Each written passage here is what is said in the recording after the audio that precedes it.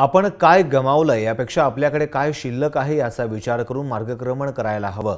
आणि हेच दाखवून दिलंय माढा तालुक्यातील मानेगाव इथल्या नयना जोकार हिनं. नयना हिनं दिव्यांग दिव्यांगावर मात करत शिक्षण सुरू ठेवलंय. पाहुयात हा खास रिपोर्ट.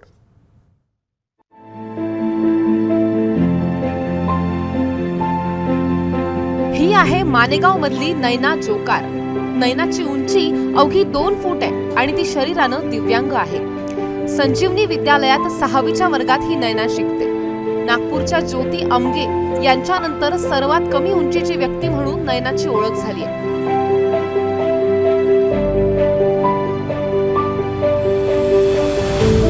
मात्र असं असलं तरीही नैना दिव्यांगावर मात करत शिक्षणाचे धडे गिरवते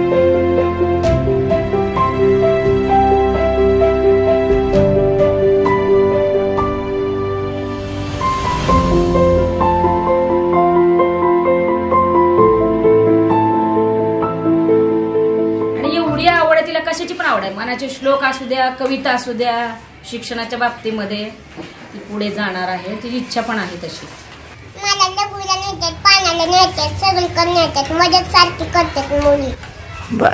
पुढे काय व्हायचं तुला आयुष्यात पुढे? आधी काय घरची परिस्थिती हलाखीची आणि त्यातच नैना दिव्यांग. त्यामुळे नैनाच्या आईनं तिला अनेक दिवस शाळेत जाऊच दिलं नाही. मात्र तिच्या शिक्षणाच्या हट्टापुढे तिच्या पालकांना माघार घ्यावी लागली. मधल्या सुट्टीत यायचं जेवण खाणं मग विद्यार्थी शिक्षक सर्व मदत करतात. पण माझा जीव थांबत नाही की ले- आपलं लेकरू अपंग आहे म्हणून मी येत असते. मुलीविषयी अभिमान वाटतोय तिची गुणवत्ता बघून? मुली सगळे नेते त्या मदत अभिमान अभिमान वाटतो का आपल्या मुलीचा? अभिमान वाटतो की शिकते मुलगी पुढं वा वा जायची शिकावी काय तर व्हावी अशी इच्छा आहे. एवढी इच्छा आहे की तिनं खेळायला जाताना सुद्धा आम्हाला म्हणते मला नाही अगं मला पण बघायचं आहे. मग आम्ही नेतो आणि झाडाखाली बसवतो.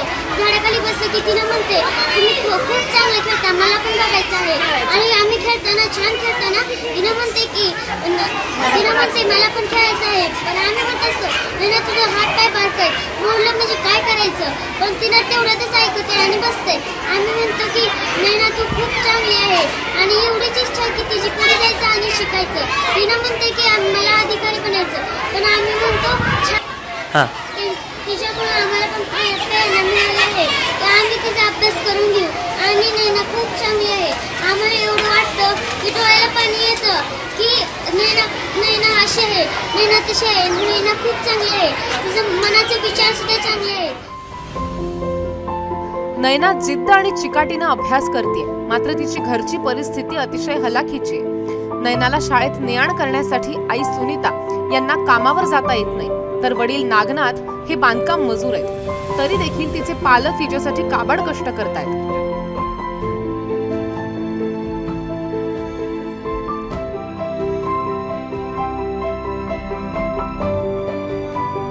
ती लय हुशारा बुद्धीनं पण आमचे परिस्थिती. परिस्थिती नाही शिकवायची. बर. मग तरी असताना सुद्धा तुम्ही शिकवताय आई. शाळेतले शिक्षण हा घेतात शाळेतले शिक्षण तिला आवड आहे. हम्म. पण आता ही सोडण्याची ही अडचण असल्यामुळे आईला घरीच ठेवतो आम्ही. बर. आतापर्यंत ती शाळेत आमच्या शाळेमध्ये शिकत आहे. आणि ती हुशार आहे बुद्धीला अगदी पद्धत आहे. आणि त्याशिवाय अपंग असल्यामुळे तिला मदत करणारे आई वडील देखील कष्टावर अगदी कष्ट करून मजुरीनं जाऊन देखील ते आयात मुलीला आत्तापर्यंत शिकवत आहेत. आणि आमच्या शाळेमध्ये आल्यानंतर शाळेमध्ये देखील सर्व कर्मचारी शिक्षक असतील शिक्षकेतर कर्मचारी असतील सर्व त्या मुलीसाठी अगदी प्रयत्न करतात. तिला सहाय्य करतात मदत करतात. त्याबरोबरच आमच्या शाळेच्या बाबतीमध्ये जर सांगायचं झालं तर अगदी ग्रामस्थ देखील आमच्या शाळेसाठी फार मोठं आपण काय गमावले यापेक्षा आपल्याकडे काय शिल्लक आहे हाच विचार करून मार्गक्रमण केल्यास काहीही अशक्य नाही हेच नैना दाखवून देते शीतल कुमार मोटे एएम न्यूज करमाळा.